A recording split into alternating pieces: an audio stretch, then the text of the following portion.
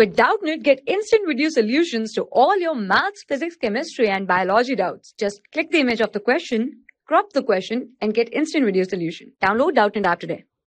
Hello. In this particular question, what they have said is the shape or structure of XeF5 minus and XeO3F2 respectively are. Okay. So uh, first, uh, uh, as we know that xenon is from 18th group, so it is having 8 electrons in its outermost shell, right? Uh, so first we'll talk about the option number. Uh, uh, option number I said first compound which is XeF5 minus. Okay. Since xenon having 8 electrons but there is a negative charge, so total 9 electrons will be on xenon. Okay. So what is structure is going to be? so structure will somewhat look like this.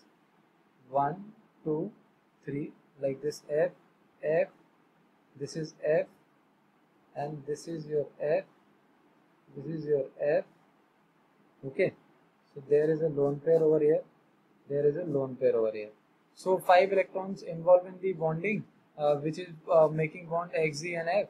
And the four electrons uh, are uh, is in the form of lone pair so there are, total there are two lone pairs. Okay.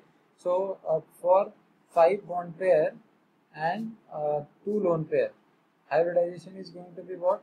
Hybridization is going to be sp 3d3 okay this is going to be sp3 d3 so geometry of this particular is going to be a pentagonal planar.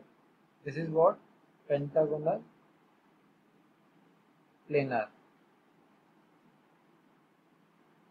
Now we'll talk about the option number uh, compound number uh, 2 which is what? Your XeO3 F2 okay?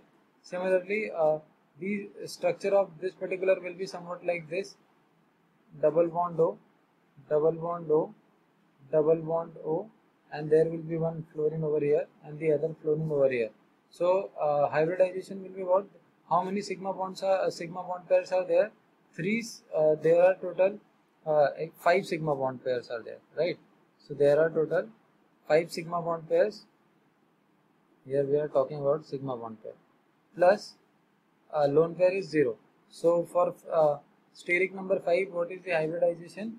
Hybridization is going to be sp3d, which is what? Pentagonal bipyramidal. Why fluorine is at axial position? Because according to Bent's rule, more electronegative atom uh, prefers to stay at uh, axial position. Okay.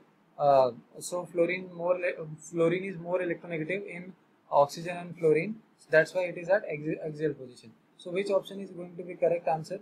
because its uh, its geometry will be what trigonal bipyramidal okay? So we have to find the option which is matching with this one. So first is xef5 minus. So pentagonal planar and bipyra uh, trigonal bipyramidal.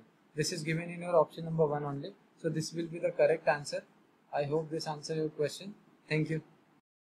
For class 6 to 12 IIT JEE and NEET level. Trusted by more than 5 crore students. Download Doubtnut app today